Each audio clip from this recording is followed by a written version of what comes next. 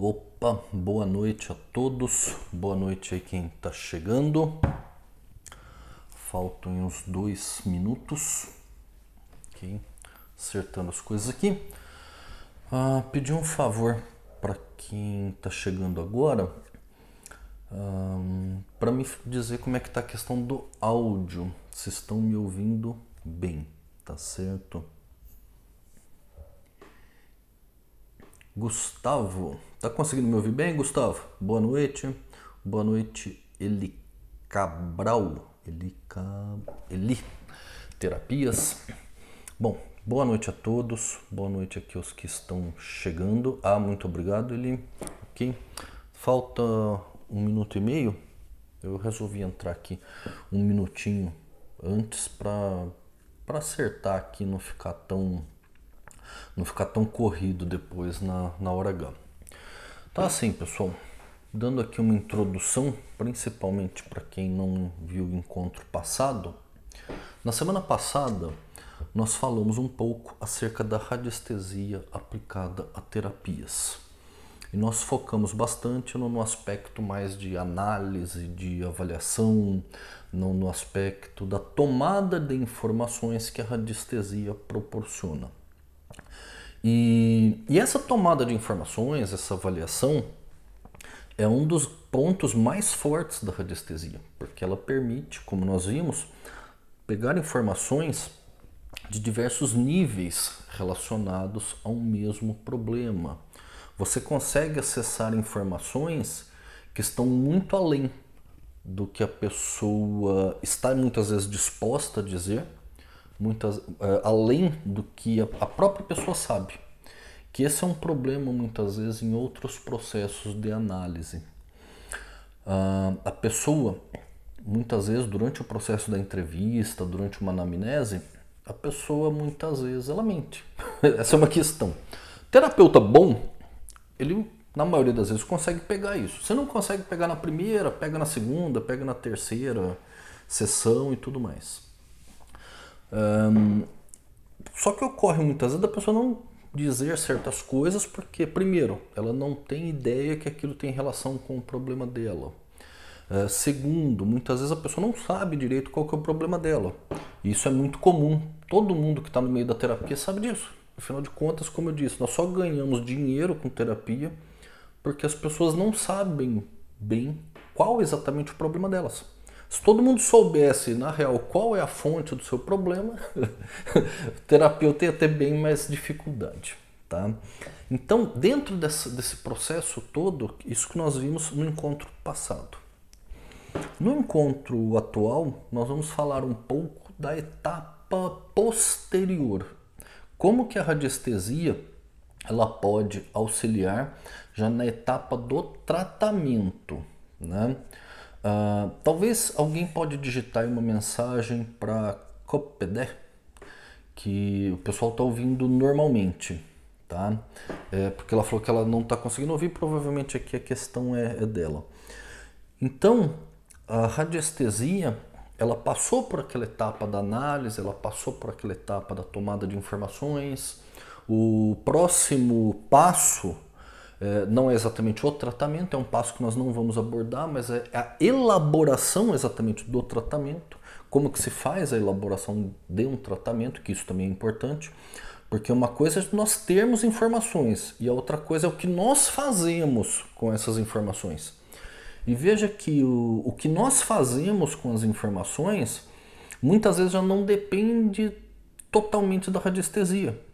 Depende da experiência do terapeuta, depende das técnicas também que ele domina e tudo mais. E aí, a terceira etapa é aquela que nós vamos falar hoje: é tratamento. O que, que nós temos de ferramentas dentro da radiestesia que podem auxiliar nos tratamentos? Então, fazer assim um breve apanhado histórico aqui de cinco minutos ok? Talvez sete. Mostrando como é que a radiestesia aplicada à terapia ela começa e como é que ela chega até hoje. Lá atrás, os primeiros tratamentos que foram feitos utilizando a radiestesia, a radiestesia era utilizada basicamente no processo da seleção. de remédios fitoterápicos, no processo da seleção das melhores ervas que o consulente pudesse se beneficiar. Tá? E lá atrás ela começa também a ser utilizada por alguns médicos na seleção de remédios e tratamentos alopáticos, uma prática que foi em grande parte já abandonada. Tá?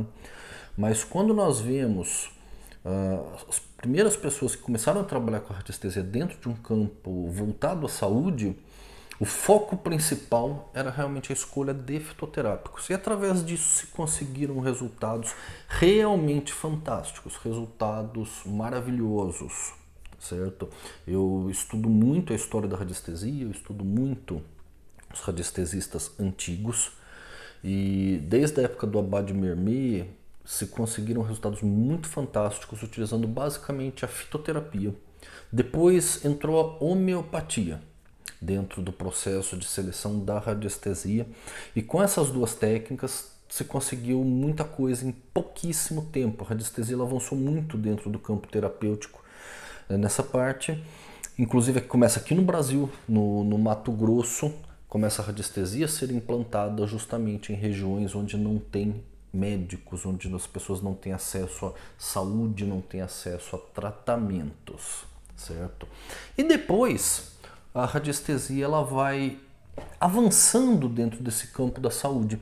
E ela avançou tanto que hoje em dia, é, nesse momento, por exemplo, se eu perguntar o que, que é radiestesia de supetão, a maioria das pessoas até que estão me assistindo vão falar que é uma terapia que usa pêndulo.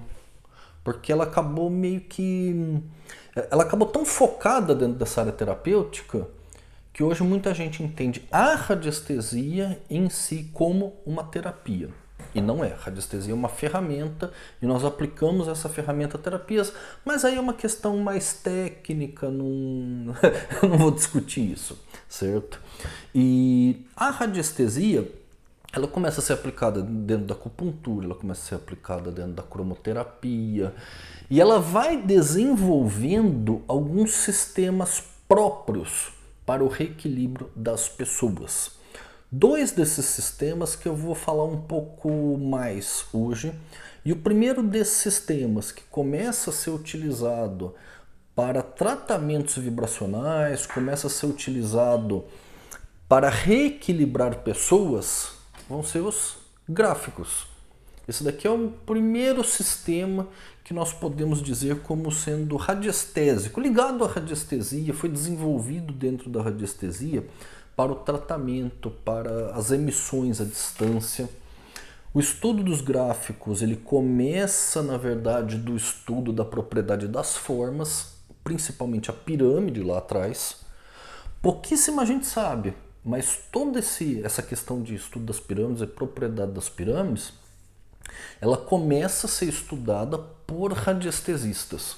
Tudo aquilo que nós vimos de pirâmide posteriormente surge exatamente dos radiestesistas, como Bovy, depois o Enel e outros radiestesistas que se dedicaram a estudar o porquê as pirâmides tinham determinados efeitos. Então, sim, uma das ferramentas aqui eu já entreguei. Uma das ferramentas muito utilizadas dentro da radiestesia terapêutica é a pirâmide, certo? Já que ela foi a base de todo o estudo de forma. Quando nós falamos em gráficos, em formas tridimensionais ou bidimensionais, tudo começa das pirâmides. E aí nós temos os gráficos. Os gráficos, eles foram sendo desenvolvidos através das décadas e e as suas propriedades foram sendo estudadas, suas propriedades emissoras. Então nós temos gráficos em radiestesia que eles são voltados a nós emitirmos corretores, como florais homeopáticos, cores, cristais, a influência de cristais. Tem outros gráficos que eles eles, são, eles foram desenvolvidos pra, para aumentar a vitalidade, para aumentar o potencial energético. O Servranx já tinha alguns gráficos ainda um pouco mais específicos e tem alguns gráficos que eles são inclusive reguláveis. Esse sistema ele é bastante utilizado por radiestesistas, certo? E nós utilizamos bastante dentro da escola. Dentro da escola internacional, nós temos todo um processo de formação. Então, nós temos a formação de base, por assim dizer, a radiestesia técnica, que vai dar para a pessoa os primeiros elementos da radiestesia e mostrar como, quais são as regras, quais são os parâmetros que ela precisa ter em mente para fazer suas pesquisas. E depois nós temos as formações, radiestesia aplicada à terapia, radiestesia em uso de gráficos, uh, uso de, de pêndulos emissores, que nós vamos falar ainda um pouco daqui a pouco, porque é um tema bem interessante também. Tá?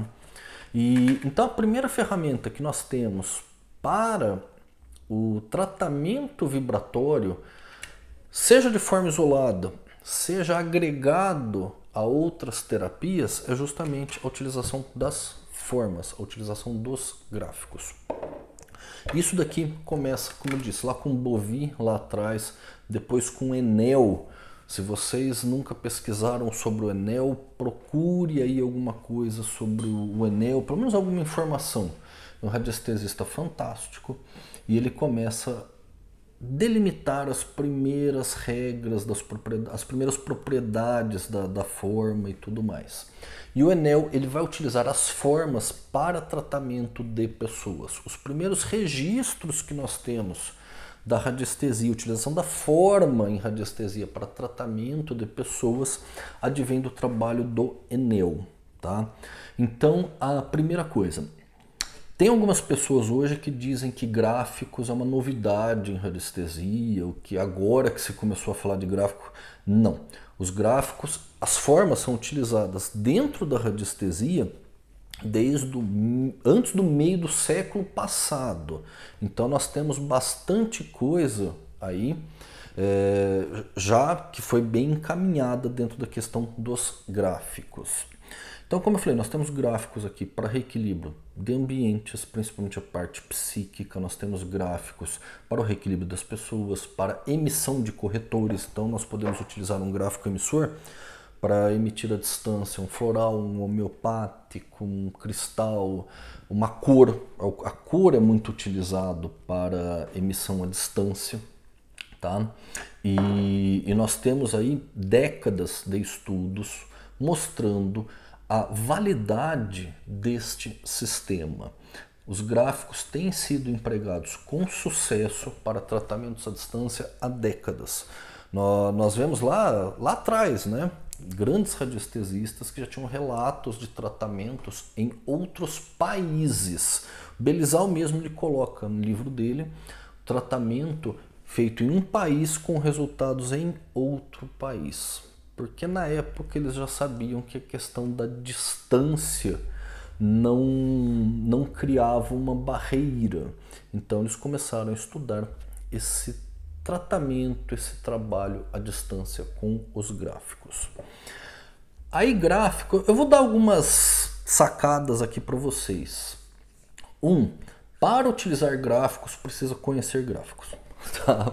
Não adianta. Por mais que o pessoal, que algumas pessoas falem da, da questão de gráficos, é importante o conhecimento de gráficos.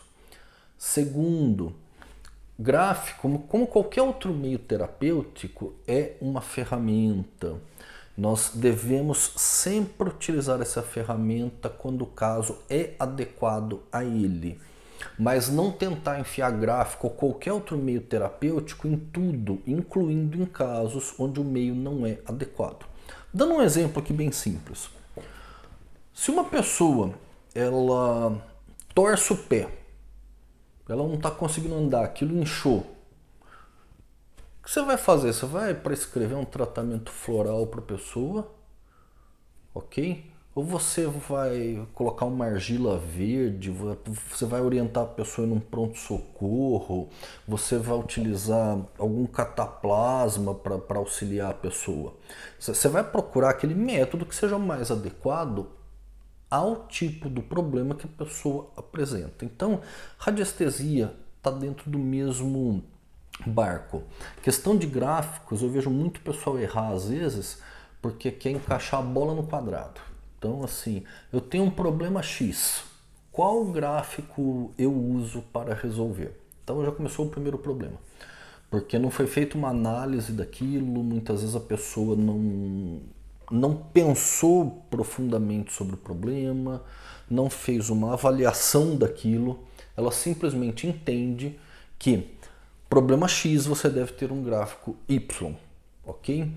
Como aqui boa parte das pessoas ou são terapeutas ou estão dentro de processo de formação, procurem pensar dentro da área que vocês já atuam, se isso é, é muito crível, ok? Por exemplo, uh, vamos supor que você é acupunturista. Aí a pessoa chega e fala assim, ah, tô com dor de dente. Ah, você não pega simplesmente e fala, bom, dor de dente, agulha, ponto XYZ. Tá? Existem determinados parâmetros, você tem que procurar tentar entender um pouco aquele problema da pessoa, tentar entender a origem. Então, quando alguém chega num acupunturista e fala assim: Ah, eu tô com depressão, ok? O acupunturista vai buscar quais são as causas energéticas daquilo. Você tem depressão por deficiência do yin do rim, você tem depressão por deficiência do yang do rim, você tem depressão por, por desequilíbrio do meridiano do coração, você tem depressão por desequilíbrio no, no pericárdio, você tem várias coisas que podem gerar esse quadro. Então é necessário entender. Radiestesia vai seguir o mesmo tipo de processo, gráficos também, mas é um meio bastante interessante de trabalho, principalmente se você também é massoterapeuta, se você é acupunturista e você gostaria de dar um suporte para os seus consulentes durante a semana. Você faz a sua sessão de reiki e você quer que a pessoa continue sendo tratada nos outros dias. Então os gráficos eles são meio bem interessante. Lembra que eu falei, radiestesia ela tem uma coisa muito legal porque ela consegue você consegue avaliar o problema sob diversos níveis. Então você detecta, a pessoa tem um determinado problema, você detecta que aquilo está ligado à energia do ambiente dela. E isso a radiestesia é uma das poucas coisas que vai poder fazer isso.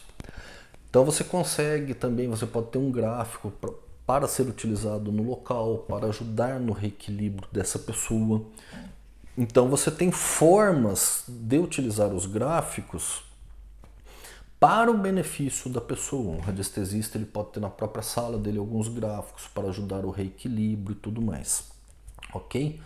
Uh, para quem Começa com a história de gráfico, dois gráficos importantes para nós termos logo no começo, eu sempre falo isso, é um decágono e um escape, ok? São dois gráficos que nós utilizaremos com bastante intensidade dentro do processo da, da radiestesia. O decágono, porque nós precisamos muitas vezes produzir testemunhos. Olha que maravilha!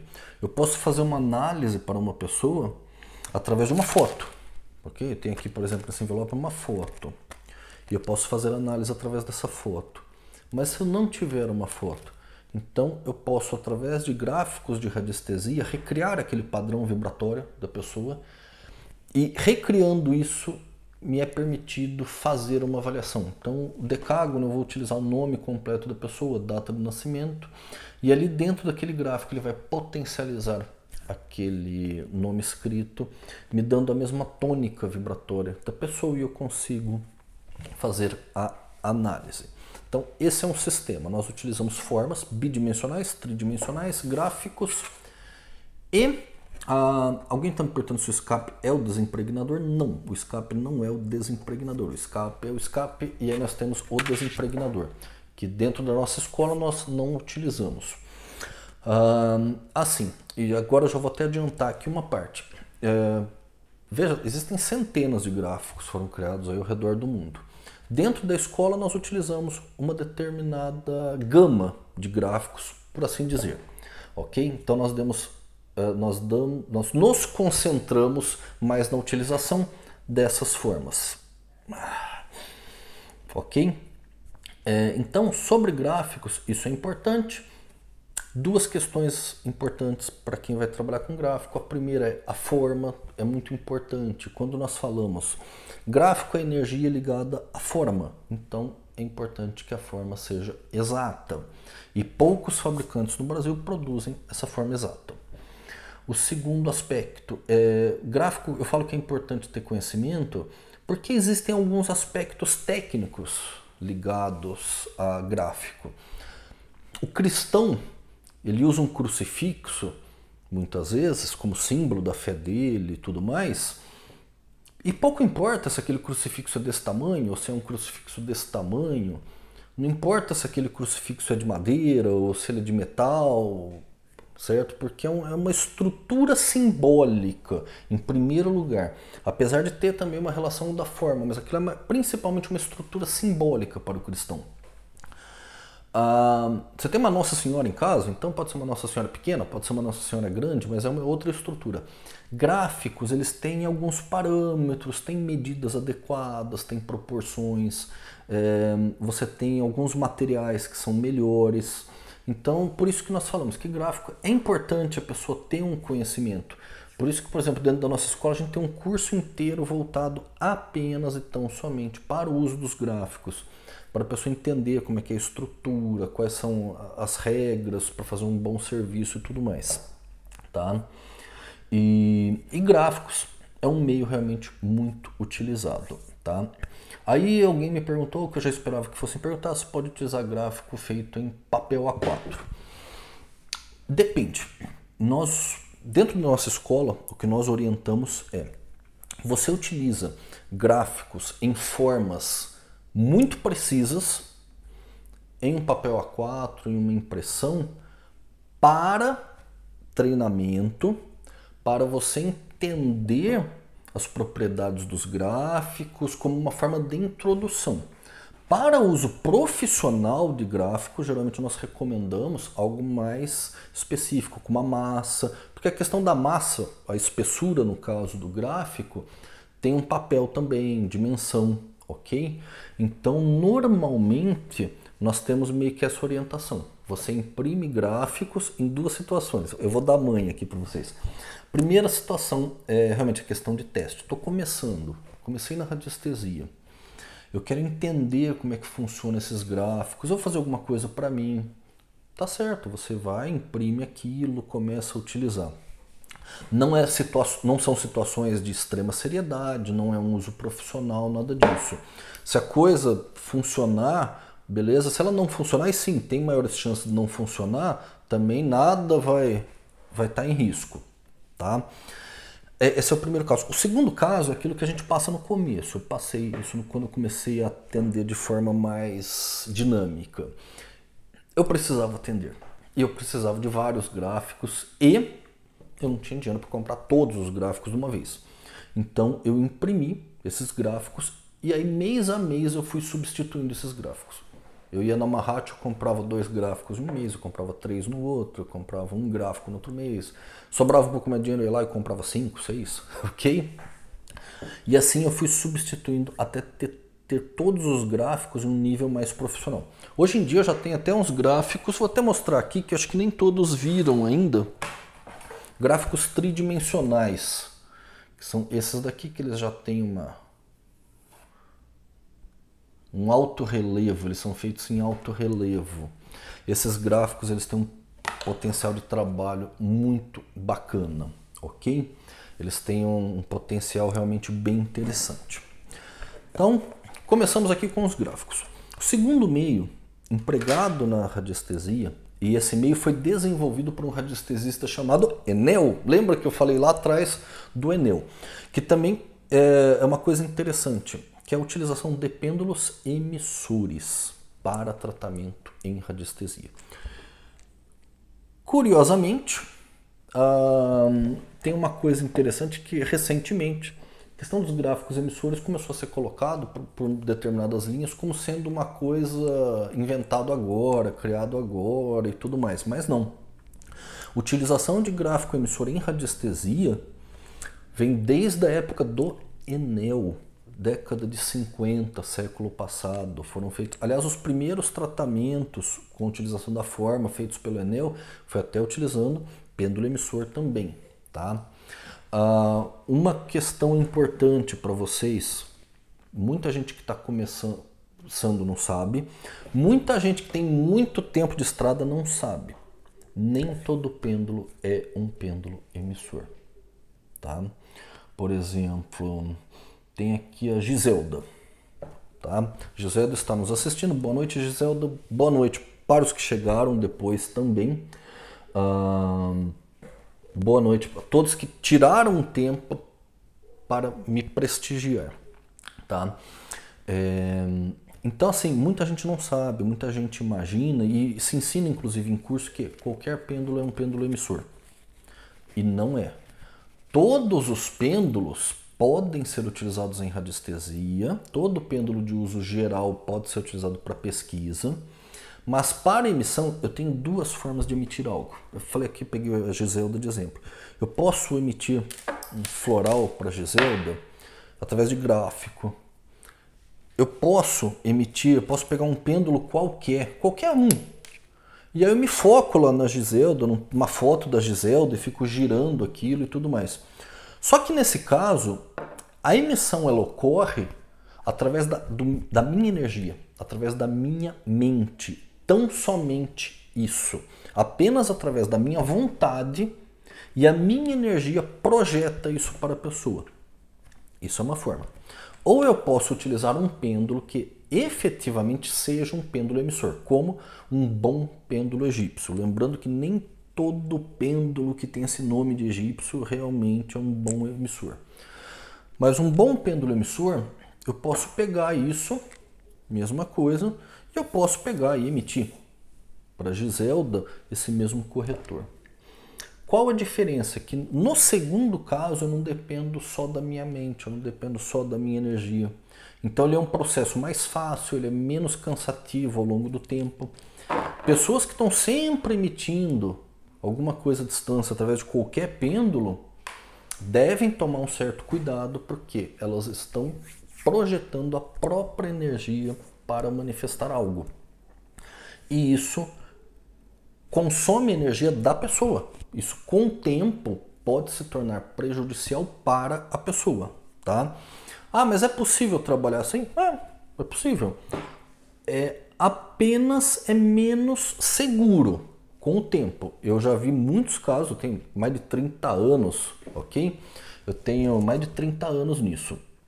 E eu já vi muitos casos de pessoas que ficavam emitindo, emitindo, emitindo, emitindo, e, e com o tempo foram tendo problemas por causa disso. Aí a Ana pergunta se o Antônio Rodrigues, que não usava pêndulo emissor, sim, então ele e vários outros, ok? Até porque o trabalho do Antônio não nem era tão focado assim nessa parte de tratamento, ok?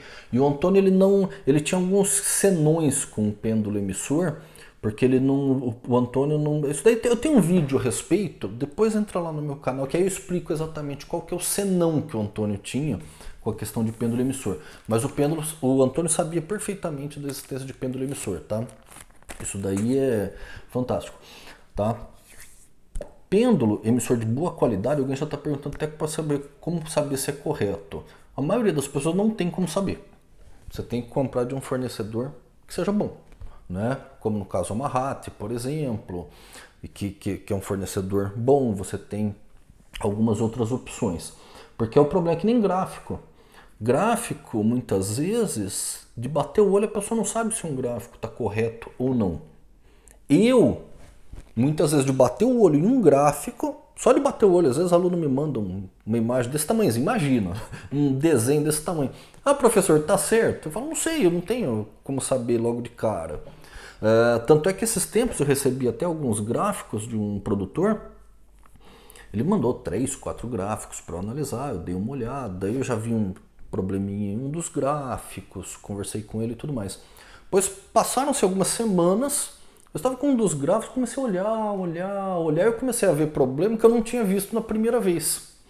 Então é, é perfeitamente é, normal assim que a gente tem uma certa dificuldade. Não é tão simples assim saber, tá?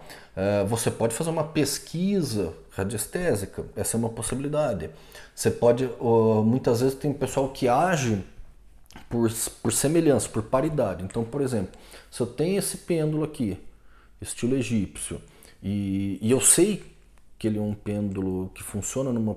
está numa proporção correta, eu sei que ele funciona bem, eu posso depois testar a similaridade dele com um outro pêndulo, tá? Aliás, esse pêndulo aqui, o desenho dele foi retirado da flor de papiro dos, dos egípcios, tá? Era um tipo de amuleto que eles utilizavam que tinha esse, esse formato. E aí, então a utilização dos pêndulos emissores é um outro recurso.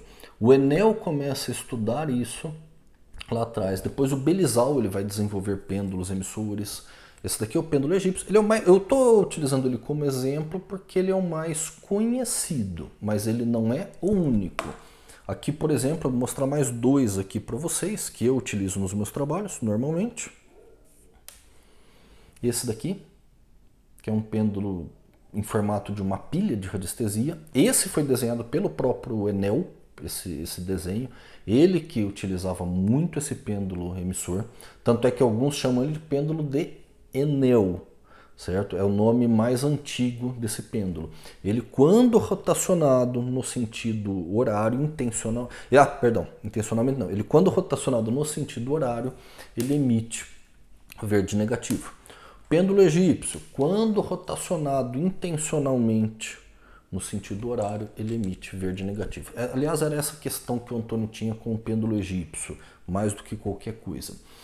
E, e eu tenho também aqui esse pêndulo, que ele é chamado de Isis. E esse pêndulo, ele também é um emissor.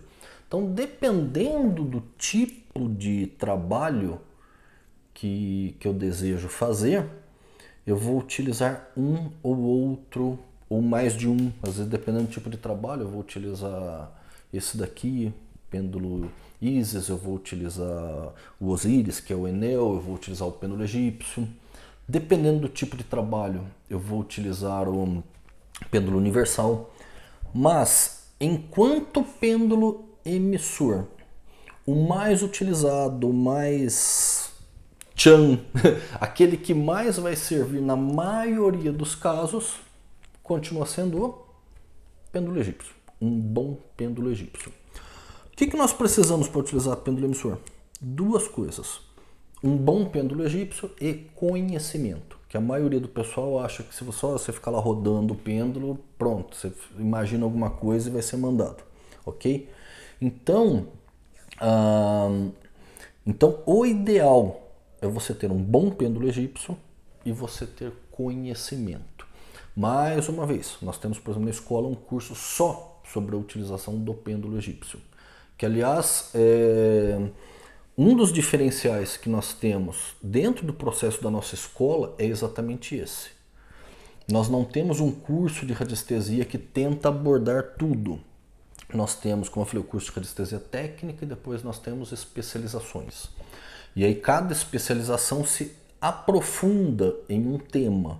Então nós temos um curso apenas sobre a utilização do pêndulo egípcio, ensinando a pessoa passo a passo de emissão, como é que você vai, é, em palavras, em linha, falando de forma bem popular, como é que você vai colocar algo, como é que você vai tirar algo, ensinando como que você vai entender quando você precisa agir de uma forma, quando você precisa de agir a outra, quais os parâmetros.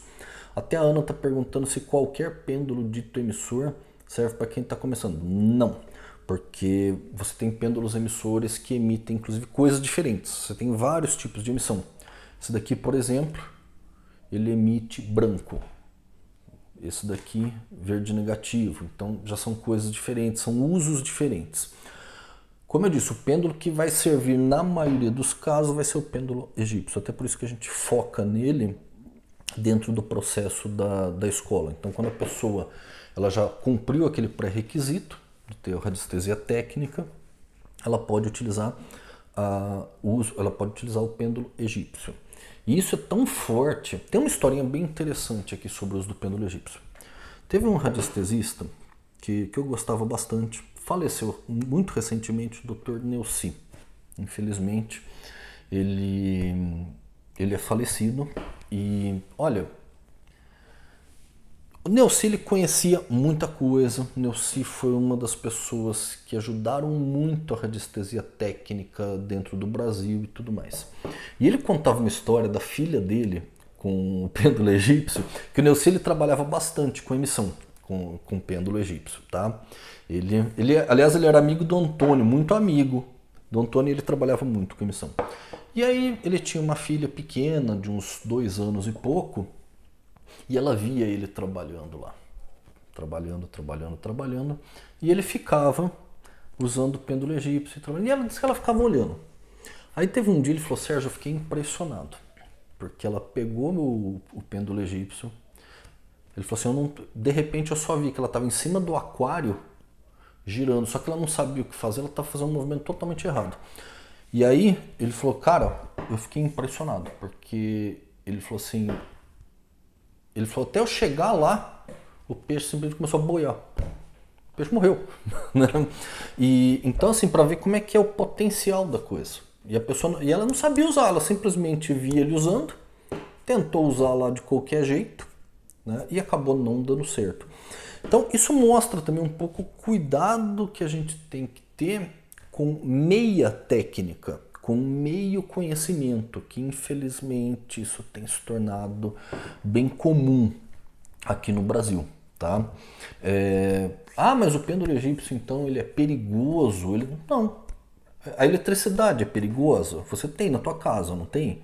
A eletricidade pode prejudicar? Ela pode. Né? Mas você tem dentro da sua casa, você usa, ok? Até essa live aqui ela só está ocorrendo porque nós temos eletricidade. Mas a questão é, você tem que saber lidar com isso, você tem que saber alguns parâmetros, tá? Isso é, é importante a gente ter em mente. Por quê?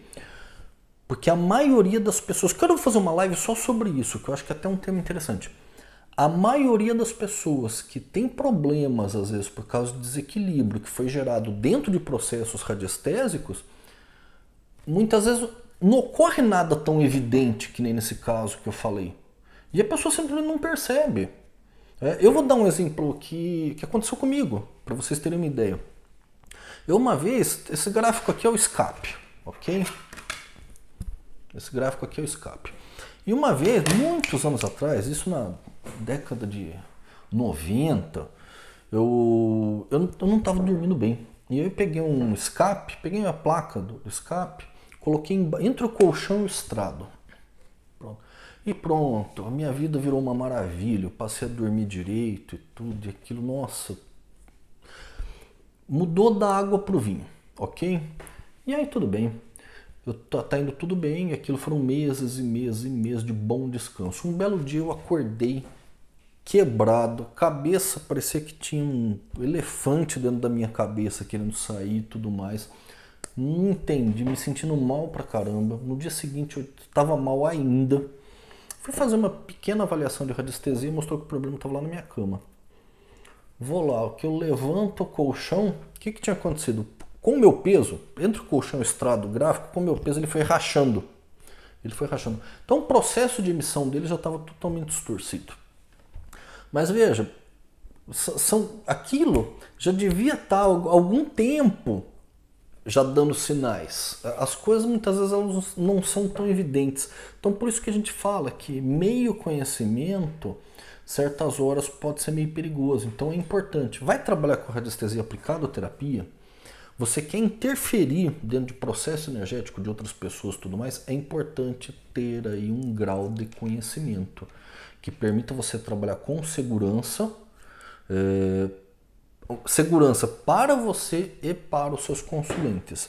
A, Sandra, a Maria Cláudia está perguntando se vai ficar gravado. Eu espero que sim, Maria. Semana passada quase não conseguimos gravar. Semana quase não conseguimos deixar gravado, tá? Ok? Uh, alguém falou, tinha falado que tinha feito um curso, mas não tinha gostado. Olha, isso acontece bastante. Mas bola para frente, de repente procura uma formação mais técnica, se você gostou do tema, procura se especializar, ok? Nós temos aí, como eu falei, dentro da escola nós temos todo um processo técnico que, que auxilia bastante. O que falta para muitos radiestesistas é justamente informação, informação muitas vezes de um cunho mais técnico, tá? É... Uau, hoje eu falei bastante. Perguntas, vamos lá. Uh, perguntas eu vou pedir para as perguntas elas ficarem mais focadas dentro desses temas mesmo, tá? E não me pedirem muita receita de bolo, porque dentro da escola a gente não trabalha com esse processo de receita, tipo, qual gráfico bom para X problema, ok? Mas se alguém tiver alguma pergunta, pode colocar. Eu acho que eu não consigo ver aqui Ah, tá. Subindo aqui. Ah, o Marcos faz uma pergunta bem interessante. Né? Ele falou que tem um pêndulo de madeira. Se ele pode começar o curso usando esse inicialmente. Né? Sim, normal. Ah, a grande questão de pêndulo, isso a gente tem que ter em mente. Né? Ah, Gomes Martins acabou de falar que é aluno da escola que vale muito a pena. Sim, vale bastante, fico feliz. Muito obrigado. Né? E a grande questão aqui é o seguinte Inicialmente, pêndulo, você pode usar qualquer pêndulo simples processo de análise. É, que eu falei, a questão de emissão é outra história, tá? Mas para estudar radiestesia, para começar a entender a radiestesia, você pode utilizar qualquer pêndulo de uso geral, qualquer um, tá? Eu vou até explicar aqui para vocês o porquê, vocês nunca mais vão ter dúvidas sobre isso. Imagina o seguinte, você começa a querer tocar violão agora, o violino, eu ah, vou começar a aprender a tocar violino. Tem violinos que são fantásticos, tem Stradivarius, tem outros violinos que chegam a preços inclusive absurdos. Um violino desse, para um profissional, é uma ótima ferramenta. Para quem está começando, tanto faz. está começando a aprender violão, você pegar um violão mais simples, ou pegar um violão que, que foi feito por um luthier, todo artesanal e que vai custar 10, 12 mil, não faz muita diferença, ok? Porque quando nós temos um bom instrumento aliado a uma técnica precisa, aí sim nós começamos a tirar recursos desses instrumentos. Que nem muita gente começa na escola, muitas vezes eu oriento a comprar um bom pêndulo egípcio para começar, se a pessoa não tem nada. Mas por que que eu oriento? Porque mais para frente, se a pessoa vai estudar a questão do pêndulo egípcio, tudo ela já tem. Então ela já comprou, ela já tem tudo mais. Mas inicialmente, durante a primeira fase de treino, durante a segunda fase, na verdade, ela não vê muita diferença porque é um pêndulo com uma geometria mais harmônica e tudo mais. Ela vai ver depois com o tempo. Aí entra a questão do pêndulo de cristal, que a como a Ted perguntou, se pode usar pêndulo de cristal? Pode, pode usar sim. É, o, pessoal, pessoal aqui no Brasil tem uma questão com o pêndulo de cristal que não pode usar porque ele se impregna muito, e é verdade, ele se impregna mais do que outros. Aí você limpa mais do que outros. Essa aqui é a questão. Você pega o pêndulo e se o pêndulo está impregnado, dá uns, uns bons assopros nele, é o meio mais simples de desimpregnar e, e vai funcionar, vai funcionar muito bem. Ah, Rosa Maria tem uma, uma questão interessante: se o pêndulo pode ser utilizado por outras pessoas. Bom, é, como é que é a história aí? Ó? Veja bem, não tem certo nem errado. Tem gente, por exemplo, que não gosta que mexa num pêndulo pessoal deles e tudo mais. Eu não tenho problema nenhum com isso. Tecnicamente falando, eu nunca vi problema nisso já aconteceu, tá reunido, por exemplo, na Mahat. Tá eu, o Marcão, Cafarelli, Sérgio Areias, todo mundo ali. Ah, de repente seu pêndulo, ah, presta aqui, você pega o pêndulo de alguém e utiliza, nunca teve problema algum, tá? Porque radiestesia, ela, ela tá muito ligada também ao operador, Tá? O, o, instrumento, inclusive essa questão de ah, vai ficar energia da pessoa no instrumento. Vai...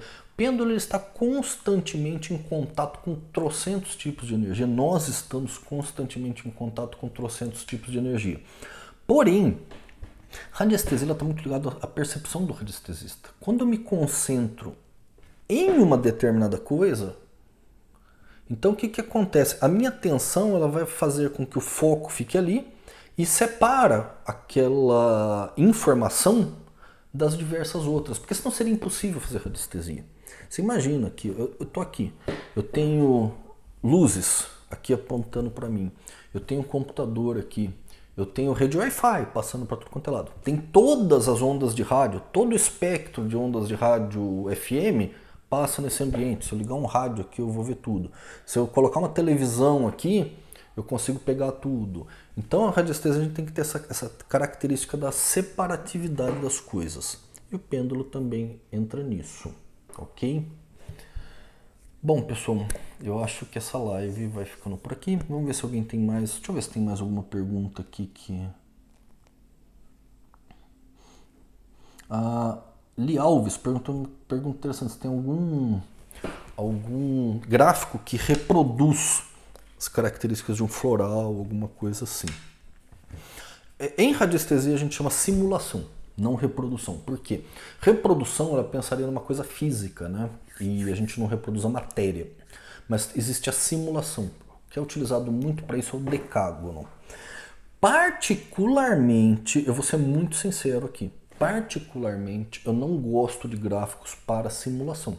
Eu prefiro, nesse caso, máquinas radiônicas, que elas simulam de uma maneira muito, muito, muito preciso mesmo, tá? Eu sei porque eu tenho, eu utilizo, eu faço muita simulação para mim mesmo. Aqui, por exemplo, eu tenho um remédio homeopático, esse daqui é de farmácia, mas eu tenho vários outros aqui que eu mesmo que, que simulei aqui em caso de necessidade e eles funcionam perfeitamente. Agora, em radiestesia, gráfico é utilizado o decágono para isso. Eu mesmo já, não, eu já prefiro máquina, tá certo? Vamos ver aqui. Ah, o Gustavo, perguntando se o peso do pêndulo influencia na emissão. Sim, sim. Quanto mais pesado, maior o potencial de emissão. Uh, onde comprar gráficos com medidas corretas? Instituto Mahat é, uma, é um caso. Gráficos Taiyang, na internet você encontra também Tai. Gráficos Tai Yang, o Yang com Y, tá? Você vai encontrar também com o Fabiano Lacerda, ele tem uma produção de gráficos aí bem bacana atualmente, tá certo? É, eu não sei se depois eu vou ter como deixar isso em algum lugar aí, se, se eu gravar, mas eu vou tentar, tá? Agora, gráfico a gente tem que tomar um certo cuidado com o fornecedor. E às vezes, gráfico a gente paga um pouquinho mais caro mesmo pela qualidade, como em quase tudo nessa vida. Né? Se nós queremos ter uma coisa um pouquinho de qualidade, a gente acaba, o preço acaba também sendo um pouquinho maior, porque é aquele fornecedor que vai utilizar um material melhor, um material mais adequado, tem um maior cuidado aí na, na questão da medida e tudo mais. Ok, pessoal? Então, eu espero que vocês tenham gostado. Precisando, nós temos aí formação de tudo isso que eu falei. Nós temos formação de especialização em radiestesia terapêutica, uso de pêndulo emissor, no caso pêndulo egípcio, utilização de gráficos. Tem alunos nossos que já fizeram inclusive todas as formações aí, estão bastante contentes, estão fazendo um bom trabalho de radiestesia. Todas as nossas formações, elas são aprofundadas nos temas que se propõem.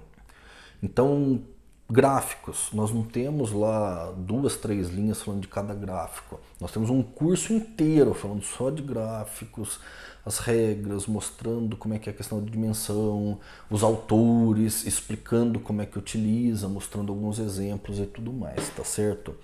Parte terapêutica é um curso bem mais aprofundado, inclusive, até porque você vai lidar com a saúde de outras pessoas então é um curso que ele é mais parrudinho, ok? Depende também da pessoa, inclusive, estudar mais, depende da pessoa estar disposta também a se especializar, tá certo, pessoal? Então é isso. Eu espero que vocês tenham gostado. E o Gustavo está falando que gostou bastante do curso, fico bem feliz, a Lucy também. É, nós temos uma nós temos um índice de satisfação dos alunos e dos clientes que é excelente hoje, né? Porque nós estamos desenvolvendo um modelo com o tempo.